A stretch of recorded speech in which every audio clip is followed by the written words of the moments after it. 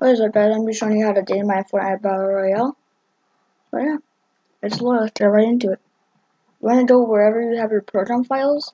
It's usually of like recovery or Windows, something like that. Or like a drive that you have in your computer. You just uh, double click on that. And then uh, you need to download Epic. I mean, uh, the Epic launcher, you need to download Fortnite. So you want to click on Epic Games, Fortnite, Fortnite game content, and then paths. So once you get here, I would recommend adding a folder. Folder. Our text document. And just name it or whatever you want.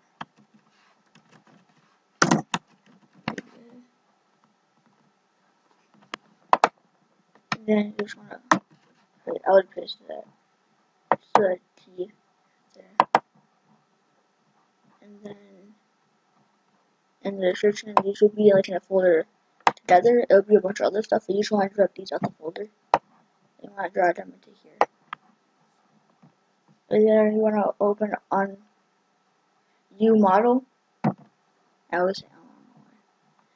And then over, over my game detection then Unreal Engine 4, Unreal Engine 4.19.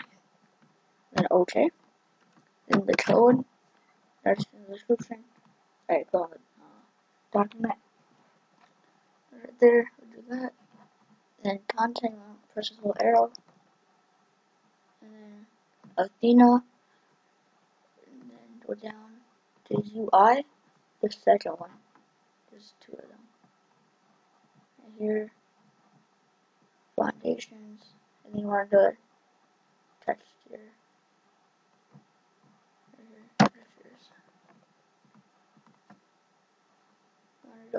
icons,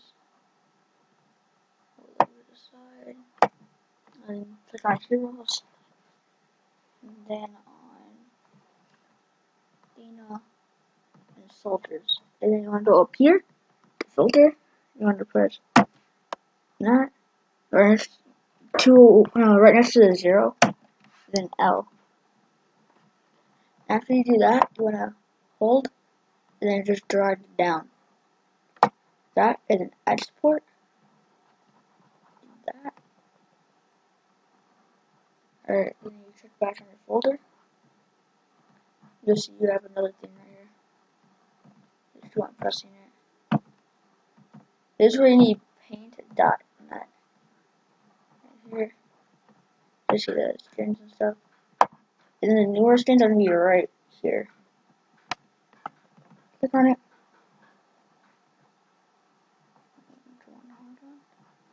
You can see that's new skin that's about to come out.